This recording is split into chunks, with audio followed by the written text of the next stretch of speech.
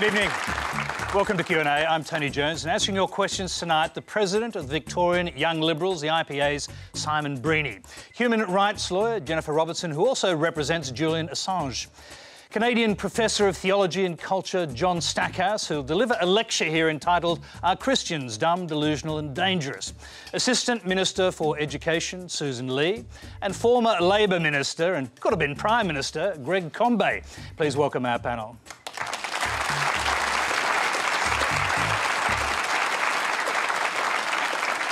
Thank you. Q&A is simulcast on ABC News 24 and News Radio.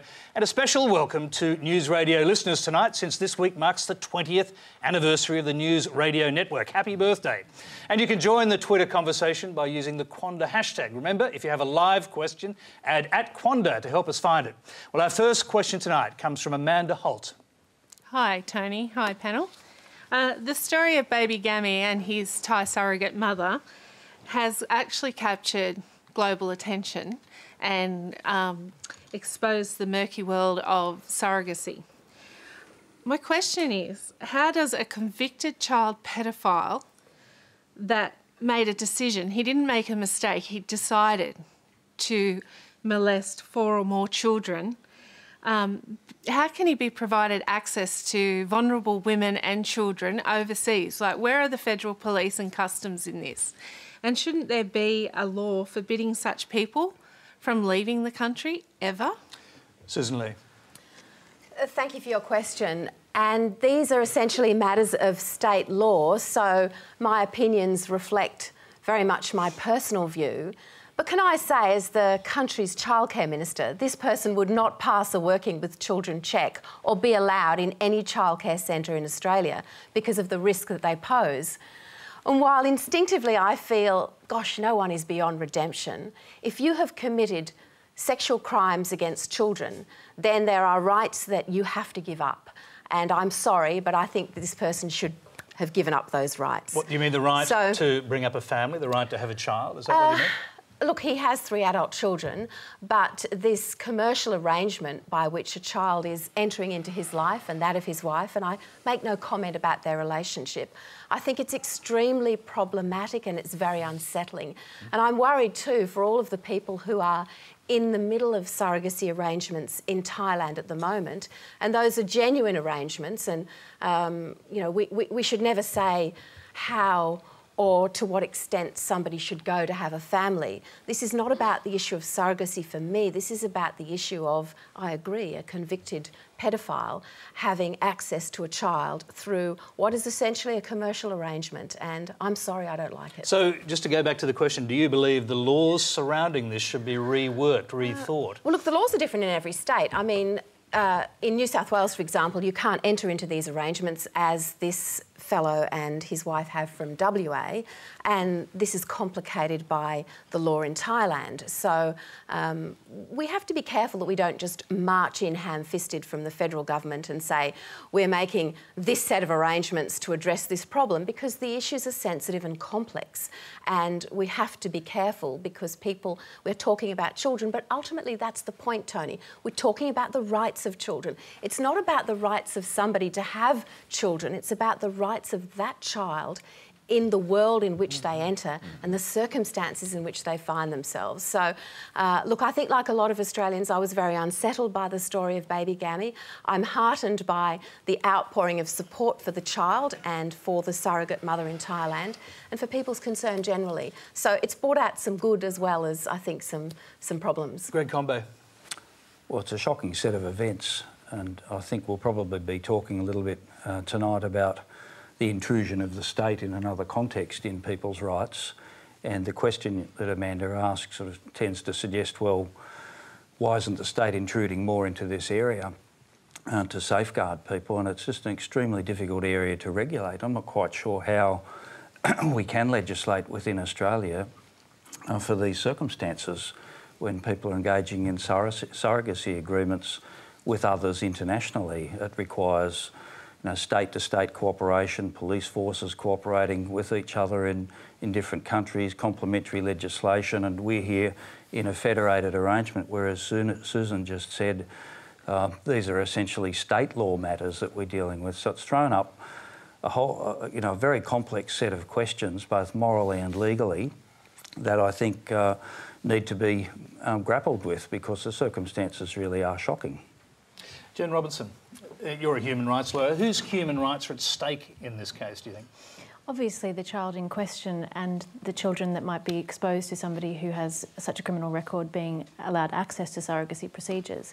But I think the real question here, quite separate from the question of his criminal background, is ensuring that people who do want to seek out surrogacy arrangements, which I think are a, le- a legitimate choice for many couples who are seeking to have children, is that you investigate and take legal advice on the different jurisdictional requirements in which you are seeking to seek a surrogate from, and importantly, are very clear about the terms upon which you're about to enter this agree- agreement because obviously there was quite some confusion about what would happen with one of the children, who would have custody, and what circumstances, and this should not be left open to any question. It's extremely ugly in this case, isn't it? Because uh, one child is left behind, the child is disabled, the parents appear to have not or that is the surrogate parents, let's say, appear to have not even made contact uh, over a period of time to try and find out how that baby is, baby Gammy. I think the question, the entire story is incredibly troubling, both for, as Greg says, from a moral and legal perspective. I think many Australians are very upset about it. But I, again, I think for all those parents out there that are, or potential parents who are seeking to engage in surrogacy agreements, they really should be taking legal advice and making sure that these sorts of uh, uncertainties are avoided. Simon Breheny to watch this whole episode uh, un- unravel over the last few days has been really an unmitigated tragedy. Um, it's been quite heartbreaking to watch the scenes that we've seen on, on TV, and we've seen uh, pictures of baby Gammy come over and, and uh, his mother. Uh, it has been a terrible thing to watch. Um, the thing that I think Tony Abbott said earlier in the week, or, or late last week, um, was that they want to be careful in changing these laws around. There, there, there are problems around this particular set of circumstances, um, but it's important to recognise that surrogacy arrangements often happen in safe and secure ways. Um, often parents turn to international surrogacy when they're in the most desperate of circumstances. Um, and often those arrangements work out quite well for both the surrogate parents and, and for the parents back at home. So um, it's important to take all of those things into consideration, I think, when the government is looking at changing these laws, but it has been a tragedy to watch this unfold. John Stackhouse, almost sort of unique internationally, this case, because of its bizarre um, nature. Um, what do you think, looking at it? What are the moral implications from your point of view? Well, indeed, the sort of soap opera nature of new revelations every day getting more and more strange does complicate the situation somewhat. And as the politicians and, and lawyers uh, do have to work out all of those complexities at those levels, but some things actually are pretty simple. I mean, the, the, the welfare of the, the poor and the welfare of the vulnerable have to come first. Children uh, do have to come first in this case. And the poor have to be protected against the rich. and some of those things are pretty simple. And so when the laws get revised, uh, they can't be revised, it seems to me morally, on behalf of uh, parents who can afford to pay to get what they like. It's really not about adults getting what they like. It's supposed to be about uh, families growing, but especially the protection of the, uh, the babies involved and, and the vulnerable mothers. If they're not protected, it really doesn't matter what else Were you shocked done. by the nature of this story and the way it's unfolded? Did you expect things like this to happen when these laws uh, become more widely used? Well, there are about six layers to this story, all of which seem yeah. Hollywood-esque in their bizarreness. So no, I, I can't say I expected it at all, Tony. no. Not all even right. in Australia. okay, we're going to move on because we have a lot of questions on different subjects. The next one is from Justin Reed. Thanks, Tony. The government displays various frightening prejudices. Senator Brandis defends bigotry. Senator Abetz alleges breast cancer links with abortion, despite the medical evidence and Minister Kevin Andrews is soon to open and close the Conference of the World Congress of Families, an anti gay group according to the Southern, Southern Poverty Law Centre, and is their international ambassador. How can Australia develop as a multicultural and inclusive society when its government disrespects and targets Australians based on prejudice and misinformation? Sussan Ley.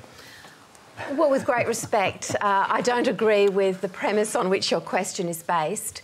And I, I mean, prejudice is are found everywhere, and we as a government will always fight against prejudice. And if you say who can go to what conference, who can associate with what people, what that says about them or their allegiances with uh, particular interests. Uh, you know, that all acts against freedom of association and freedom of speech. Now, I may not agree with all of my colleagues on everything, but within the Liberal Party, we're a broad church. And one of the good things we do is reflect the views of a group of ordinary Australians. So if you like, I might talk to Senator Abetz about something that we have in common, or we might disagree vehemently on something else. But we're colleagues within the government, we support each other, and overall, we represent what Australians think and feel. And what I about, actually uh, think what that's about the very strength. specific um, issue of breast cancer and abortion, the science around it, brought up by Eric Abetz? Um, Well- I presume you don't agree with that. I, I I do not agree that there's a link in any way between abortion and breast cancer. But I also recognise that Senator Abetz wasn't saying that that's what he thought. So uh, I'm not here running a commentary on what my colleagues think. And if he says that that's not what he was saying, he was merely airing those views, then he was merely airing those views. I probably wouldn't have aired those views, by the way. Um, but you know, I, I- I don't think it's my responsibility to decide what's right or wrong in the comments that are made. And the strength we have as a society is that there are this this enormous range of opinions that we all hold, but it's a particular strength, I think, of the Liberal and National parties.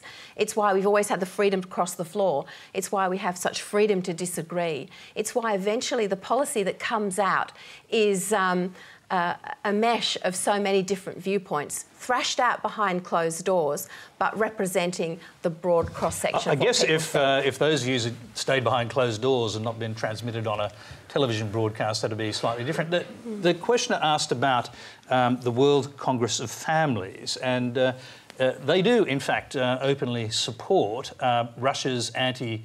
Gay laws, what they call the uh, homosexual propaganda law, that organisation. Uh, does it disturb you at all that a, a minister would open a conference of that nature? Or Well- open a conference with people who have that belief? Let's put it that way.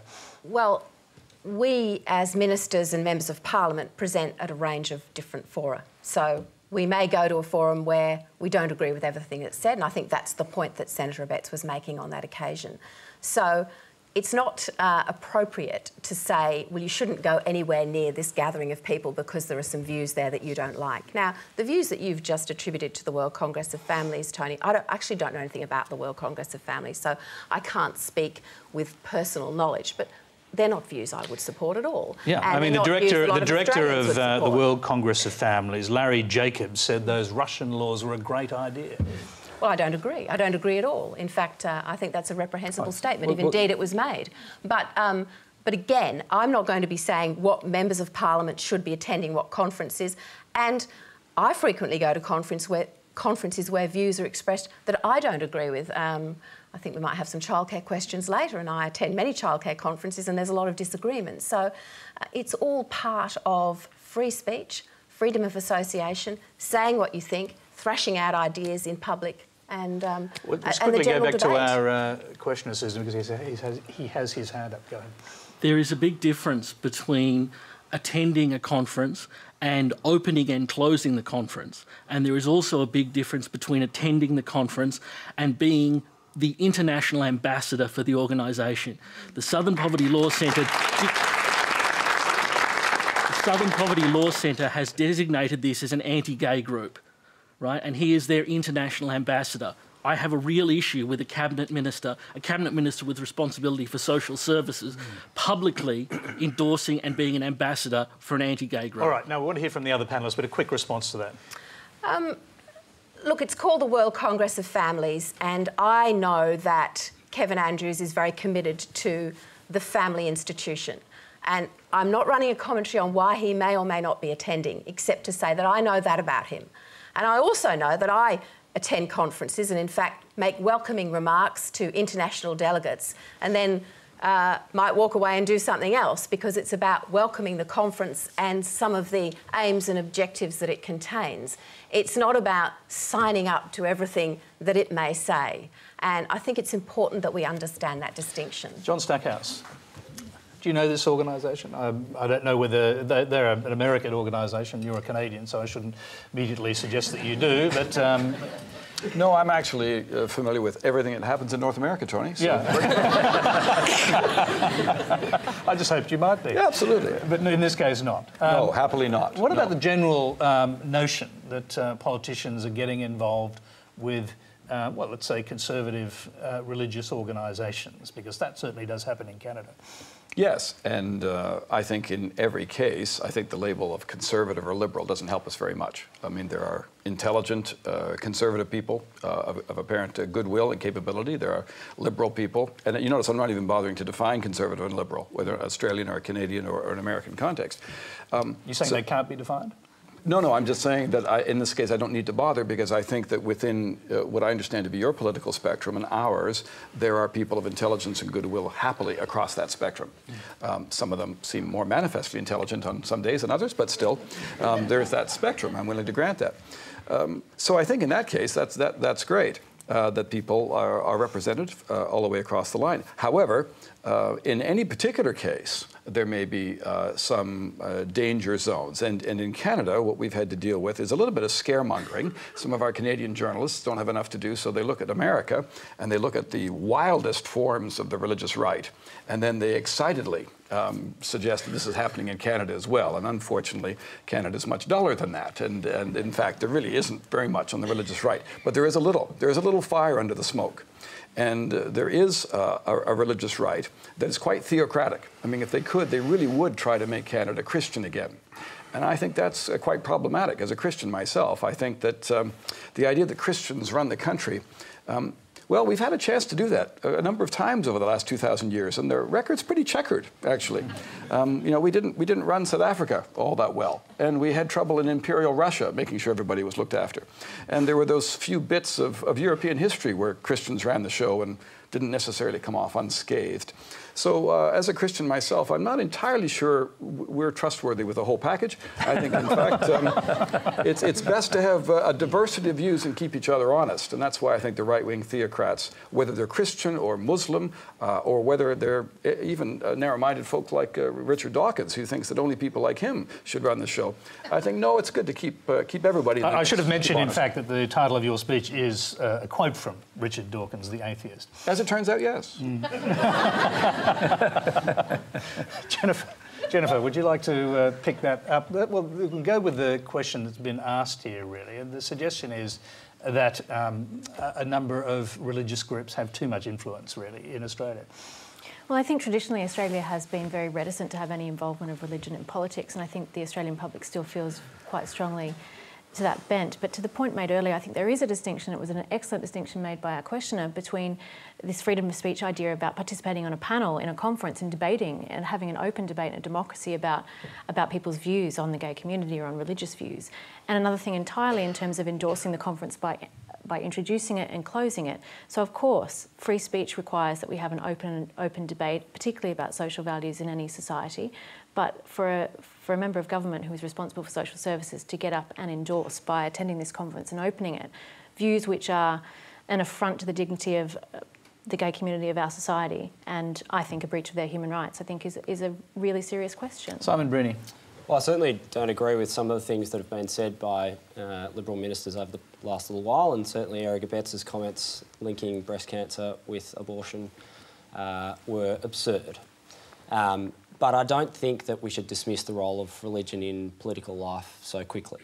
Um, it's certainly true to say that Christianity in particular has had a, a pretty significant impact on the way that Western civilization has developed over a number of centuries.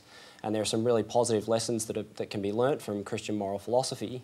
Um, certainly, I think that in the context of having a debate about a national curriculum in this country and what should and shouldn't go in that curriculum, um, I think it's important to talk about the moral philosophy of Christianity and whether that should be a part of it. Um, certainly, it's led to things like the abolition of slavery. Um, the idea that everyone is equal and everyone has a soul, that idea is infused in, the, in, in Christian moral philosophy, and that has led to the, the, the development of uh, of debates like that. So I think it's important that, that we understand that there's a history there and, and the, the role that Christianity has played in, in Western civilization in particular has been a very strong and overwhelmingly positive one over a long period of time. And very briefly, do you have any concerns at all about the World Congress of Families, this organisation which has been discussed here? Uh, look, to be honest, I, I, don't know much about the World Congress of Families. Um, it, it, sounds as though there are some pretty controversial views that I wouldn't be associated with, um, but I think it's positive. It's a positive positive thing to have politicians involved in civil society groups like this. Greg Combet. Well, freedom of speech, of course, is absolutely critical uh, democratic right, but there are important values that are um, part of a democracy too, and particularly a democracy like ours, I think, where about a third of our population, I think, don't have English as a first language, and uh, so many, there's such a strong history of migration and it's such a, a complex and diverse society and tolerance and respect for each other, uh, dignity, um, you know, tending to social cohesion in the way that we conduct our politics. These things are extremely important in our society, and uh, one of the problems I think that we've seen with the government is that some members of it, I don't attribute it to all members of the Abbott government, but um, a, a, a, number of members of the government, I think, are at the right of right wing edge of politics and they bring that occasionally into their commentary, and that's what we've seen. And I don't have a problem with people practicing their religion, and uh, many people of faith go into politics um, with very good values and motives. Um, but confusing some of these things uh, in this way, I think, is um, you know socially not desirable. And I think that uh, Eric Abetz's comments, for example, are really quite appalling. Uh, we've got to respect people in our society and respect choices that people make. But with that comes responsibilities too, and it doesn't mean that it's untrammelled free speech. Uh, it doesn't surprise me that some people think that it's all right to go out and be a bigot. Well, I don't like it. I don't think that that should be something that we say our law protects. Um, bigoted commentary, racist commentary, discriminatory commentary, prejudicial comment commentary, harms our social cohesion and it's divisive. And with rights come responsibilities and a balance in the law. And I think the government completely botched up uh, the debate about the Racial Discrimination Act, as you can see by the back down. Um, but it's because some of these influences on the far right of politics come into it. And I think people in the society are just starting to recognise that that influence is in the Liberal and National parties, notwithstanding some of the traditions that Sussan pointed to. Uh, John, very briefly, um, do people have a right to be a bigot? Um, do you have a sort of theological position on that? Yes, they do uh, have a right to be a bigot. In fact, it's, it's uh, an important thing for Christians as well as others to try not to grant other people less liberty than God does. It's always important not to try to be more holy than God. And, and if God is willing to allow people to say all sorts of things that He doesn't approve of, we need to be careful about that as well. I, am as I looked at 18C this week, um, of course, I feel uh, very much in sympathy with the concern behind the law. But what we're finding in Canada now, a few years after we have legalized same sex marriage, is that the exact same language that was used to outlaw what we call hate speech regarding racial discrimination is now being used against Christians, Muslims, Jews, and others who hold uh, unpolitically correct views about uh, homosexual relations and same sex marriage to the point that one of our city councils, for instance, in British Columbia, recently forbid anyone who wasn't pro homosexuality from renting the Civic Center for any of their rallies. And they had to back down when they were reminded of the Canadian Charter of Rights and Freedoms, which apparently none of the politicians had actually read or understood. this, this is really troubling. So, yes, of course, we've decided uh, in Australia, as we've decided in Canada, that, that racism is a very bad thing. But I, I am worried about the government backing down on 18C. I, I do think that free speech is so precious that we have to be very careful not to pronounce the uh, people um, uh, unable to be bigots because bigot is always defined by the people who have power. And when people in power start saying what you can and can't say, I frankly am a little worried about I'm just going to toss that back to Greg Combet. Um, that's a, the argument there is that the laws are the sort of thin edge of the wedge to sort of end I, I personal freedoms. Um, bigots will be bigots and will express things, but they have a responsibility to the society. If you're expressing views that are going to be offensive to um, members of our society on the basis of some particular characteristics, whether it's ethnicity, race, religion, or anything else, You have a responsibility to the social cohesion of the society. And that's all that that legislation's trying to do, to put in place a balance for people's rights and their responsibilities. And I think it's worked well. Um, I don't think one of the things the government failed to do was make a case for why it needed to be changed. And when George Brandis attempted to do so, he made a complete botch of it. And you know, so what was the motivation behind it? Was it was it the case involving Andrew Bolt? Was it pressure from News Corporation? I don't know what it was, but the government did not make a case for that change, and the community reacted accordingly. Okay, I'm just going to bring. Uh, we, will move on quickly, but you want well, to respond to that? Say, we, we didn't uh, back down. We listened. I mean, this went out as an exposure draft, and Australians had their say. Did you conclude, we... by the way, that people do not have the right to be bigots? Well, as Greg said, people will be bigots, but my concern is that they will be bigots behind closed doors and in dark places. Governments can't do everything. They can't shine a light on everything that happens in every corner of our community. And I think we believe very much in the power of community to help with this. But on 18C, we actually listened. We want a united Australia. We, uh, I mean, my colleague Ken Wyatt expressed it eloquently last week when he said most people, as he addressed the Liberal and National Party rooms, in this room will never have experienced racism, but I have, and I've talked to people who have. So when I heard that, I mean, in my head, I believe with the uh, probably the uh, the IPA argument that look intellectually, this makes perfect sense. It's all about freedom of speech and uh, black letter law. But in my heart, I think I don't know what it feels like to have that prejudice against me. I don't want to be I don't want to be part of a government that makes it easier for a woman wearing a hijab in Western Sydney to walk down the street and feel inferior and at that critical time of their life and their development to feel somehow that there's something wrong with them.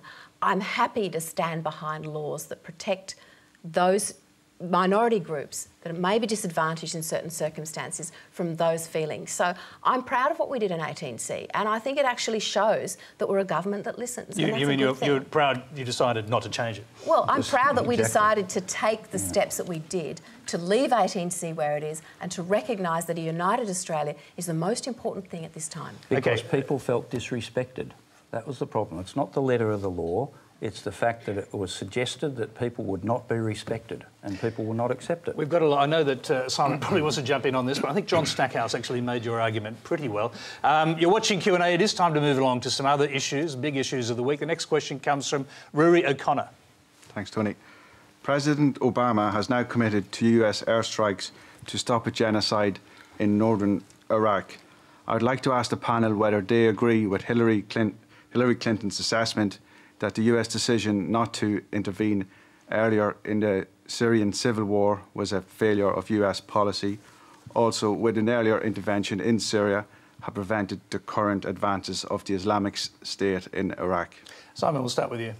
Um, yeah, I agree that uh, they probably should have gone in a little bit earlier than they have now. Um, there have been uh, some atrocities that we've seen over the last few weeks.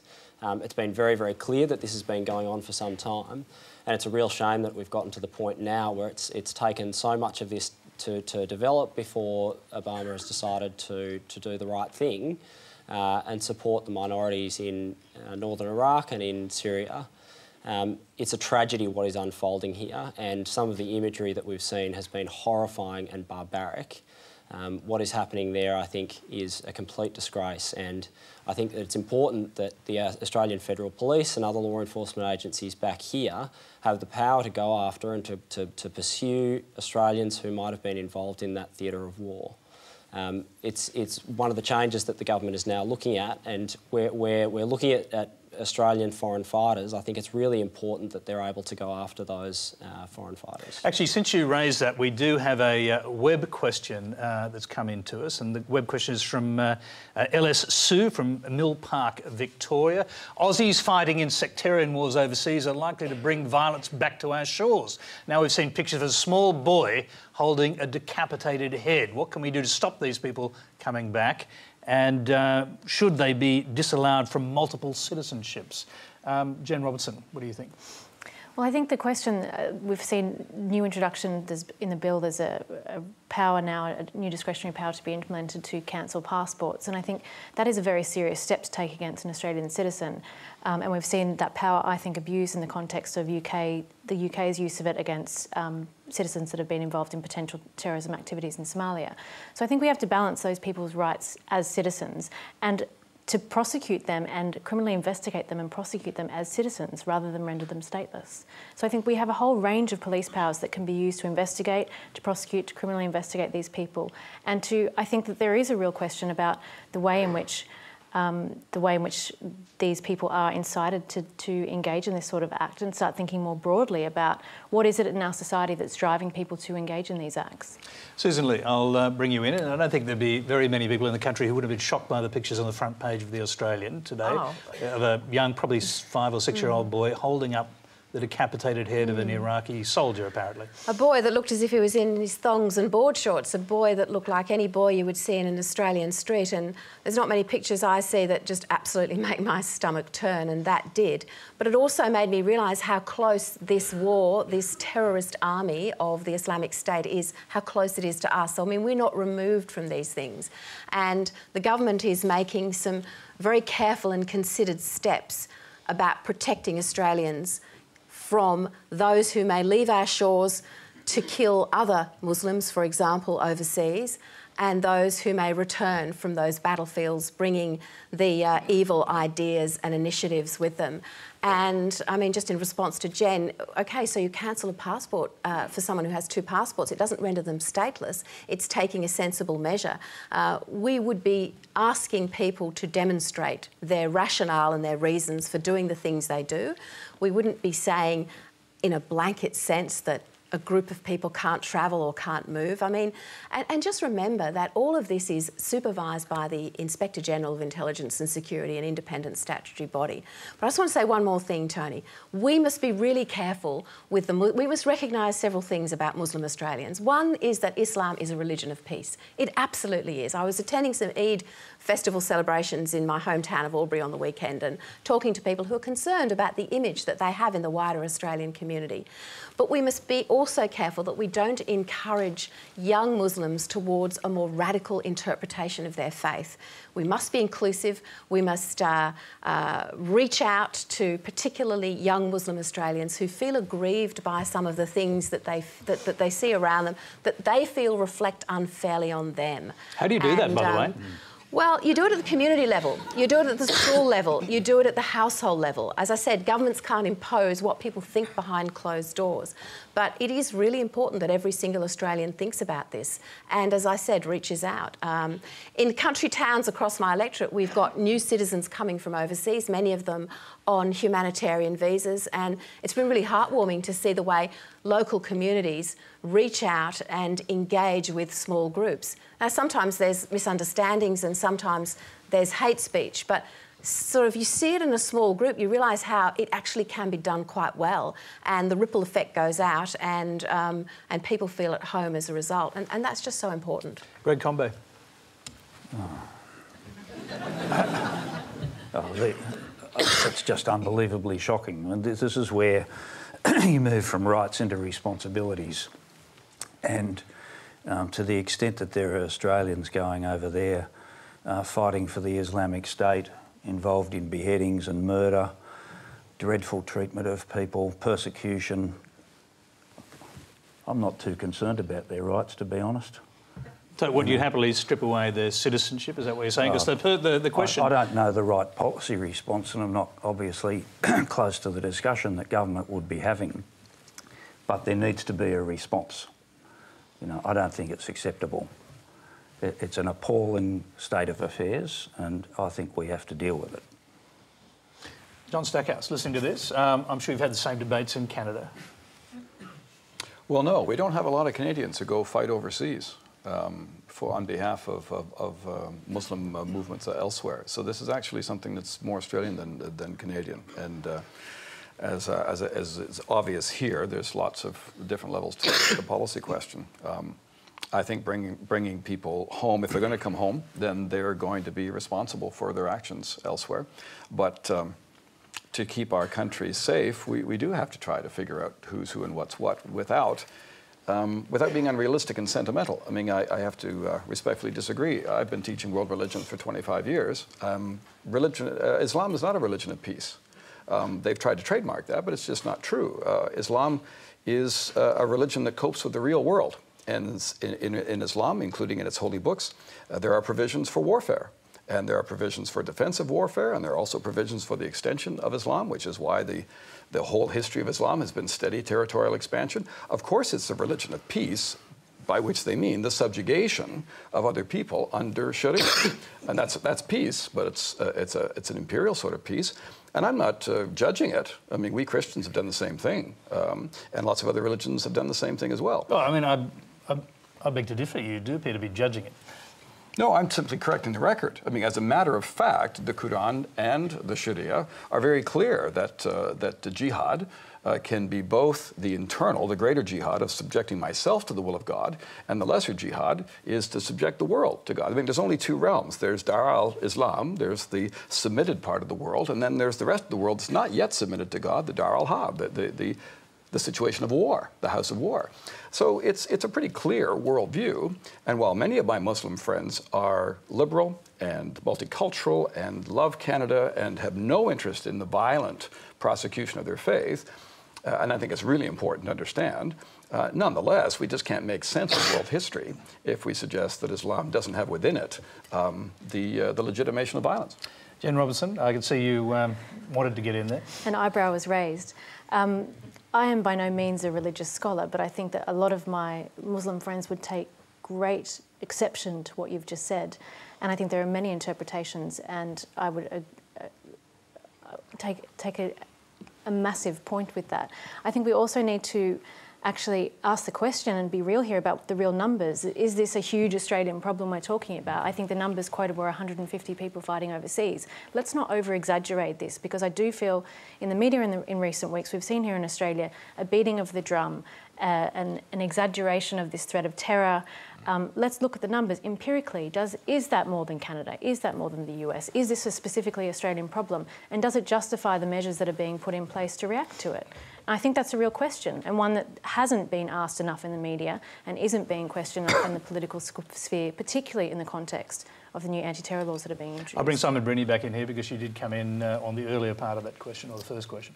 Um, yeah, look, uh, there are some very, as I said, there are some very serious problems here, and um, we have radicalised Australians that are over in Iraq and Syria, and they're fighting a war um, and they're fighting a war on religious grounds, and we certainly don't want for that to come back to Australia. Um, I think that there's a very uh, there's a very clear prima facie case, at the very least, for surveillance of anyone who tries to re-enter Australia and has come from that theatre of war. I don't think there's any question about surveilling and investigating those who are known to be engaging in warfare. There is no question of that. The question is how much, how much are we going to criminalise the Muslim community of this and persecute the Muslim community of this society because of a small group sure. of individuals who are participating in war? And what other measures are we justifying by reference to that fact? Well, we're not doing that. We, we are certainly not doing that. You are changing the presumption of innocence, though, if someone goes no, to one of those countries, or that's how it's been portrayed? Well, that's how it's been portrayed. Let's wait until we see the actual technical changes. Mm. The consultation that will be had with all our agencies, the oversight that the Inspector General will give, the review of Parliament and so on. I mean, there's been some fairly dramatic statements made about what we're going to do and uh, many of these powers we have already, but it's important that uh, I mean, gosh, just 150? I would be concerned about one or two. Of uh, course, uh, carrying on the activities that they are. But can I, can I, I, mean, can I just I mean, make this point historically, Sussan? Is, is sorry, not, can I just make this historical point because mm. uh, I actually reported uh, on the Bosnian War uh, back in the early 1990s, and hundreds and hundreds of Australians went over to fight um, in that conflict. Again, a sectarian conflict. Again, huge number of uh, violent atrocities and crimes against humanity. We're still seeing the results of that go through the War Crimes Tribunal there, but no laws changed in Australia that I know of. Well, the Islamic State is a terrorist army, unlike anything the world has ever seen. And when you consider the actions that it's taken in eastern Syria and northern Iraq so far, and what it's doing, uh, the genocide that it's now carrying out in an extraordinary way, and the unstoppable, apparent unstoppable nature um, of its intentions, I think we can draw a distinction. And Maybe we should have had some more measures in place at that time at the Bosnian conflict. I don't know, Tony. But I am very confident that the measures that we will take careful steps to introduce now uh, are the right ones. They absolutely have to be. Okay. As Greg said, it demands a response. We have a related question. It's a video. It comes from Charles Gutjar in West Melbourne. In the United States last year, the director of the National Security Agency told an oversight committee that collecting metadata on hundreds of millions of Americans had helped to foil only one, perhaps two, terrorist plots. In Australia, we don't even know of one terrorist plot foiled via metadata. Should our security agencies have to prove that metadata is effective at combating terrorism before we provide any more to them? Simon Breheny. Um, there's a strange thing that, that happens when you raise national security as a public policy issue, and that is that the onus of proof suddenly disappears, or at least uh, it diminishes quite significantly.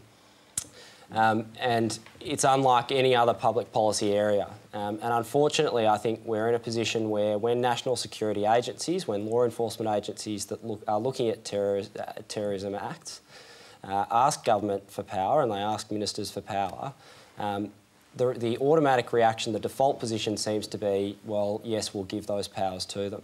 Um, in many other ca cases, in many other areas of public policy, that's not the way that things happen. Um, law enforcement agencies or their equivalents, regulators, might come to a minister and say we need powers in this particular area and they'll be asked to justify them.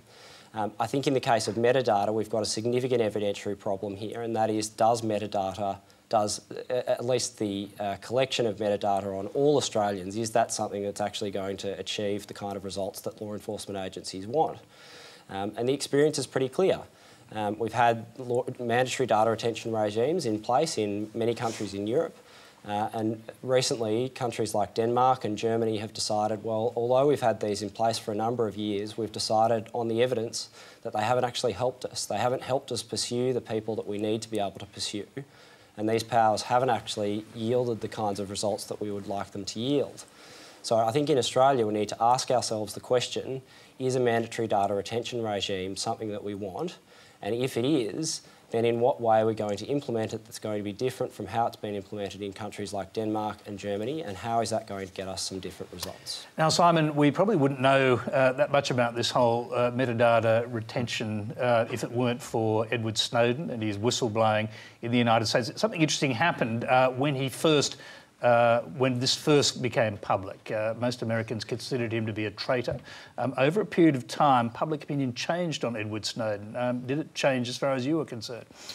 Well, I think Americans understood the importance of uh, the, the system that was in place and, and how extensive this regime was. Um, there's, a, there's, a, there's a big difference between surveilling particular people who are suspected of wrongdoing and surveilling the entire population.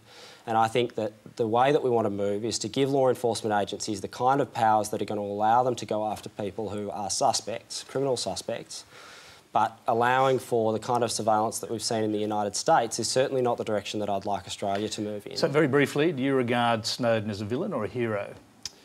Uh, well, I, I, think it's. I think that dichotomy is not all that helpful, but I certainly think that it was important that he did what he did, so that Americans were able to understand the extent of surveillance. Jen Robinson.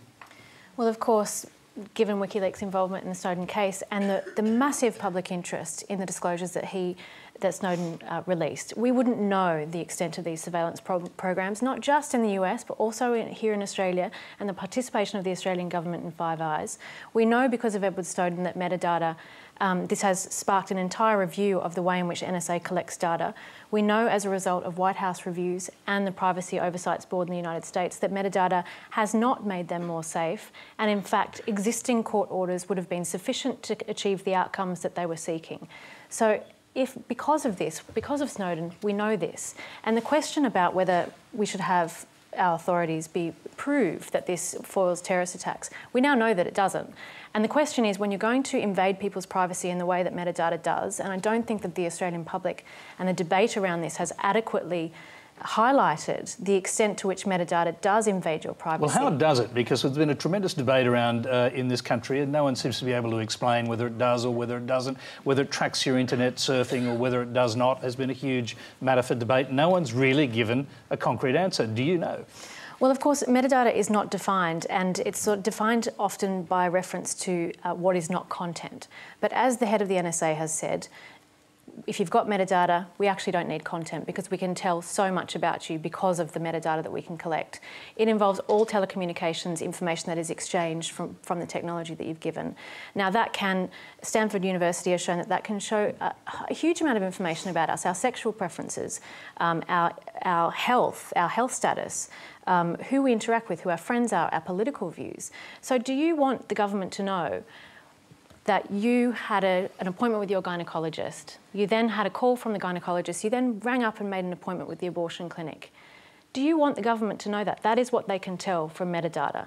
So, if the government is going to be collecting metadata, that is a breach of our privacy. They have to justify that. They have to show that it is necessary and proportionate to the invasion of our privacy. Metadata, as we've just heard, doesn't achieve the ends that they seek. There are other ways, and they have existing powers to do this. It's not as if they can't investigate criminal suspects. Sussan Ley.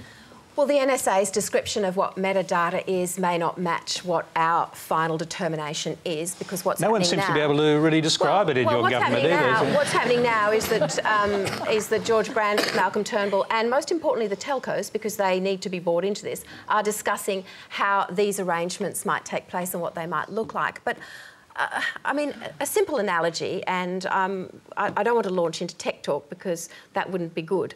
But a simple, a simple analogy. I, I was thinking. I look. I picked up my phone. Here's my call log. It says who I've rung, uh, what time I rang them, and how long the conversation was for. I don't mind people knowing that. I might be a bit funny about them knowing the details of what was exchanged in the conversation without due reason for wanting to know that, i.e., a search warrant, further investigation, etc. But the fact that they could have a look at those lists of, of, of that, that call log wouldn't worry me. And you know, we've, we've made it clear. Tony Abbott, by the way, said uh, it's what's printed on the front of the envelope. I looked at the envelope that my phone bill came out, it's just my address. Well, I think that analogy actually translates to what I just said about the, about the mobile phone call log. It's not the content. So nobody is spying on your conversations. Nobody is eavesdropping with what you've said. I mean, as if the government could care less about all these tiny details of our lives. They, they really couldn't, and they don't have time. If you've done nothing wrong, you've got nothing to fear. I always think it's a bit like uh, cyclone proofing in a house. Um, in North Queensland, uh, it costs 30000 to cyclone proof your house. If that didn't happen and a cyclone came and your house blew over, you'd turn around and blame the government and say, well, why wasn't something done? Why weren't we being properly looked after? Why didn't we know that we had to do these things? Um, by taking the steps that we take, which is involving the security agencies with the proper, proper oversight and the interaction of Parliament and all of the things that we've said we'll do in a, okay. in a staged I, way. I don't know if you've I mean, noticed. We'll do this properly. It's the mushrooming of hands in the audience. Um, well, just as that, that, young gentleman there, there's a microphone just over you. You can start with you. There's a one down the front here. We'll come to that. Go ahead. You say that if you've done nothing wrong, you have nothing to worry about. What if laws change down the road and you have done something wrong in the past before the laws change? Can you then be prosecuted for that? Well, I mean, I mean that, that, that sounds to me like something relating to criminal evidence. But please, I know you don't have much faith in Parliament, but you must have faith in Parliament. If Parliament that's oversights, if Parliament oversights these things, that's a good thing. I mean, the debate is always: do we let the security agencies run riot and do exactly what they want with, with free range? No, we don't. We have parliamentary oversight through various committees and uh, obviously the executive of government. So okay, I'm, Parliament I'm... represents the people and represents you. I'm not trying to cut you off, but there's a few people with their hands up. We'll go to that uh, young gentleman there with a tie on. And, uh, and what, just while we're waiting for that microphone to reach you, Greg Combet, if you've done nothing wrong, you've got nothing to fear. That's the, the message. Well, actually, while we're speaking, I, I, one of the positions I had in government interfaced with the national security agencies, and I would just suggest that it's a good idea for the case to be made. Uh, I think be the short answer, and I'm not endeavouring to impugn uh, any of our security agencies' motives, but this is an important public policy debate and a matter of public interest that should be debated in order to justify the retention of data like this.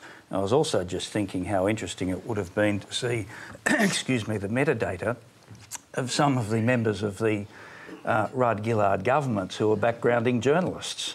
We would have loved to know which journalists they were talking to. so you're saying, for political reasons, you wouldn't mind uh, that invasion of privacy? I, I'd suspect. well, it tells you the story, doesn't it? Because I'd suspect there'd be a few journalists uncomfortable too. Well, we might have found the, yeah. the phone call uh, from Julia Gillard to you offering you the prime ministership. That was a face-to-face. We knew not to use the phone. we'll go to that uh, question in the audience right there. Go ahead. I don't think you can argue that national security should be uh, an, uh, just a, uh, an ability for the government to say we can do whatever we want. One of the most recent examples of using national security as an excuse is the super injunction in the Victorian Supreme Court about the security bribery scandal, where national security was used as a cover up to not embarrass Australian uh, organisations and international leaders in regards to the bribery scandal over the banknotes. So you can't just go around saying, oh, national security that, national security that. Okay, we'll just take that as a comment. And just behind you, there's another gentleman with his hand up. We'll quickly go to that one. Go ahead. We've heard oversight and accountability mentioned over and over again. And we're talking about ASIO and agencies like that, picking them in particular. An agency which is exempt from Freedom of Information Act, it's exempt from the Privacy Act. They can go to any corporation and go around the Privacy Act.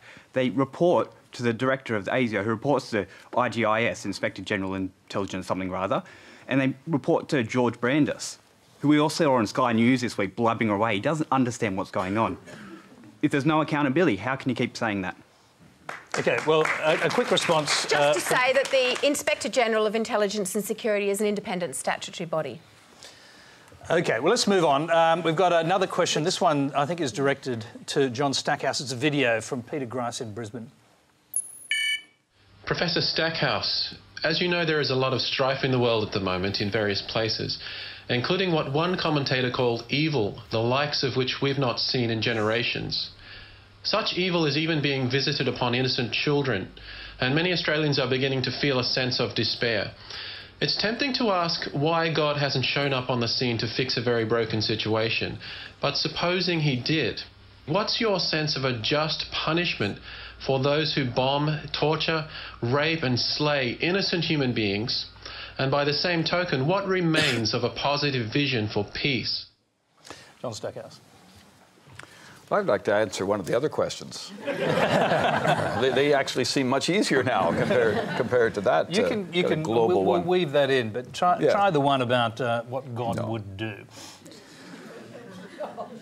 Well, I think it's, it, it's an excellent question because I think we, we do have to presume, if we're Christians and people of, of similar outlooks, that, um, that God is, is mourning over the world, that God's not happy about these things, and that God is, in fact, as, as the ancient scriptures say, you know, keeping a log of these things, that, that, that nobody does anything in, in a secret place. Um, God has maximum surveillance, in fact. He does know what everybody's doing all the time. He knows your metadata. He knows the metadata and the data. Uh, he's, he's got it all. Um, and, Doesn't and I, do much with it, though. Well, that's, that's I think, the, the, the, crucial question is that if, if God wants me to continue to trust him as an all good and, and all powerful God, when he manifestly seems not to be one or the other or both, mm. uh, then he'd better give me a jolly good reason to trust him anyway. Um, and, and God hasn't given me um, uh, any account, any, any daily briefing about why he's allowing the atrocities here and why he's allowing them there. Uh, and, they, and they go back uh, since the dawn of time. Well, is that where faith comes in? Because, uh, as we know, um, plenty of Holocaust survivors actually lost their faith once they saw the real dark side of human nature and realised that God was never going to intervene. Well, in, indeed, I think that, that post-Holocaust theology in, in, in, among my Jewish friends is, is a very daunting and very dark place because for them, there is no uh, ground on which to continue to believe in God that is strong enough to outweigh the grounds to not believe in God. And that to me is the real question. It's not necessarily whether God explains to me what he's going to do. I'm not sure I have the mental or the moral capacity to be able to judge whether God's doing a good job in the world. I, I think he's not doing a very good job often, but I'm not sure I'm capable to judge that. But if he wants my allegiance, he jolly well better give me a very good reason to trust him anyway. And for the Christian, that answer is Jesus. That answer is looking at this figure, whom Christians believe is the very face of God. So if God's like that, then I can trust this hidden God who seems to be making a mess of the world. And if he's not like that, then, then I'm really in a much difficult situation. So, Tony, for me, as, as a Christian who looks at the world like anybody else does, if I don't have Jesus, I frankly am going to be an atheist. Because, like my Jewish friends post Holocaust, God actually doesn't seem to be doing a very good job running things. Um, we're running out of time, so I'm going to quickly move to another question, which is again to an individual panellist. This one's from Sandra Eckersley. Hi, my question is for Jen Robinson. Julian Assange has now lost six court hearings trying to get the Swedish case against him thrown out. He claims to be persecuted by the United States, but apart from some angry rhetoric, four years on, they have not charged him or WikiLeaks with a single crime. Sweden has not extradited anyone to the United States for espionage or military related crimes in over 50 years. They are a haven. When do you think Julian Assange will man up, return to Sweden, face his accusers, clear his name, and then get on with the rest of his life? Thank you for the question. Julian is in the Ecuadorian embassy because of an ongoing criminal investigation in the United States. We know from court documents released in April this year that that grand jury investigation is ongoing. We know from material released by the Department of Foreign Affairs and Trade that that is a, an investigation which is of unpre unprecedented in size and scale. So to say that there's that there is no charge on the public record yet doesn't mean that one does not exist because that is the nature of the grand jury process.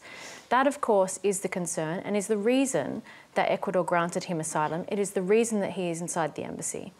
He has always wanted to clear his name. We have offered his testimony since October 2010 to the prosecutor. She has refused that in circumstances which the Swedish Supreme Court judge has said that, that he can't provide an answer for why she hasn't gone to London to interview him. There are other means by which they could have got his testimony. He has always wanted to clear his name. His concern is and always onward extradition to the United States from Sweden.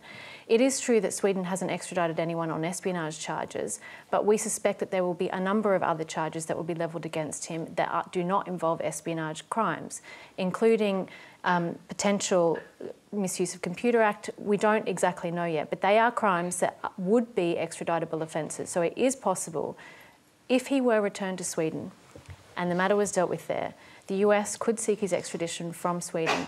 And that was a risk that he wasn't willing to take. We need only look to the treatment of Chelsea Manning to see what would happen to him if he was turned to the, returned to the United States. And this is a legitimate claim for asylum.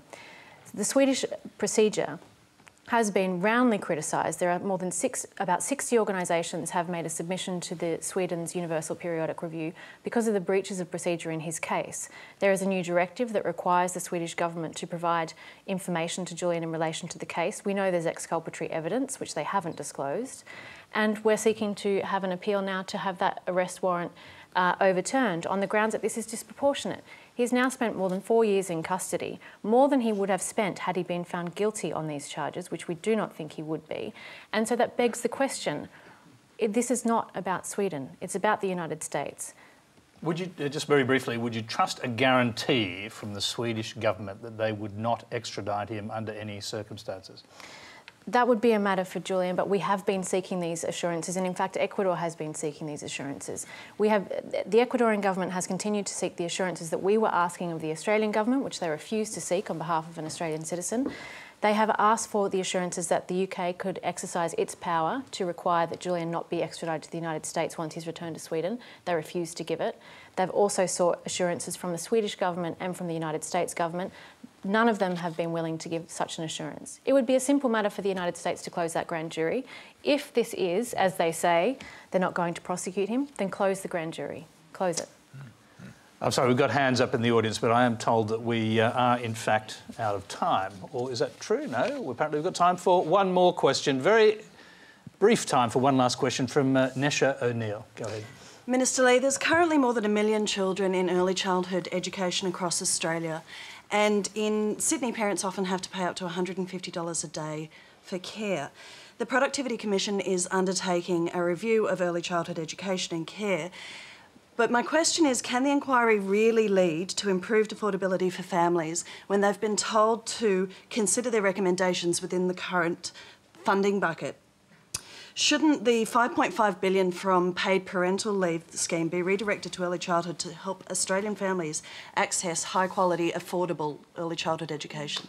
Sussan Ley. Um, th- thank you, Nesha. Um, which is what the, the uh, Productivity Commission suggested. Yes, the Productivity Commission can't do these things, but what we can do is bring about new policy that will bring down the cost of childcare for the families of which you speak, which is a number one concern of mine.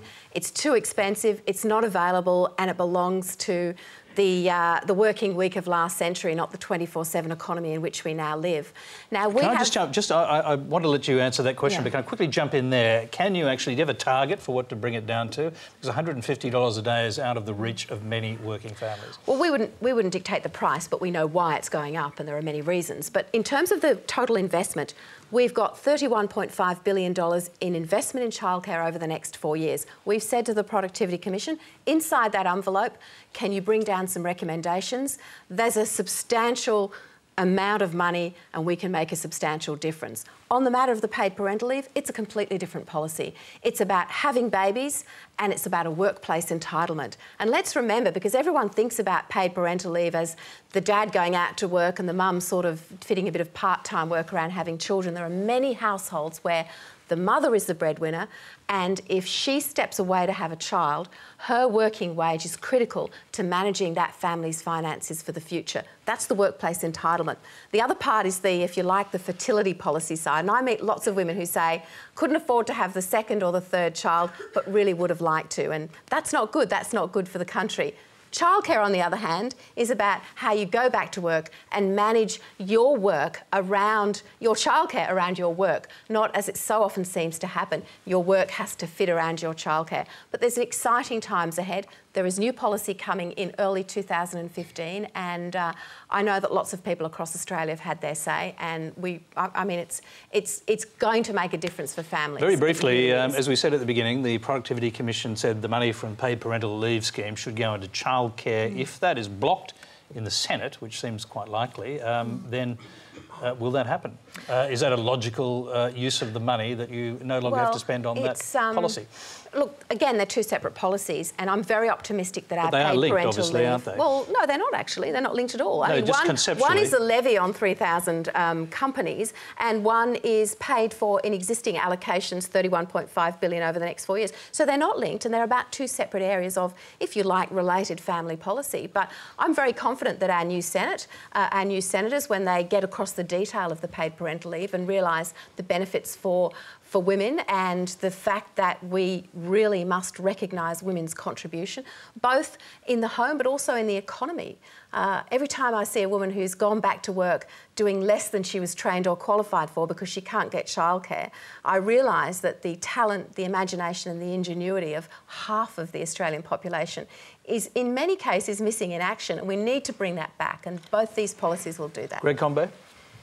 Well, the paid parental leave scheme is a joke, let's face it. And for heaven's sake, it's so inequitable and unfair. And it was a thought bubble in Tony Abbott's book, remember? fact, my book's much better reading, if I could say so. But it should not go ahead, so I certainly hope that the Senate blocks it and kills it um, because it's dreadfully unfair. The money should either be saved or it should be put towards um, a more progressive thing that is needed in the community, like uh, affordable childcare, quality affordable childcare. Well, it's a far more, far more important Greg, priority. Okay, uh, Labor's paid parental leave is paid at the minimum wage for 18 weeks. That is disrespectful of women, I'm sorry. Oh, good heavens. Were you a member of the Howard government by any chance? The Howard government did absolutely nothing about paid parental leave. Labor introduced a scheme. It's in place. 18 weeks at the minimum wage, and I'm proud of it. Uh, unfortunately, uh, on that note of pride, we'll have to uh, leave it tonight because that's all we have time for. Please thank our panel Simon Breheny, Jennifer Robinson, John Stackhouse, Sussan Ley, and Greg Combet.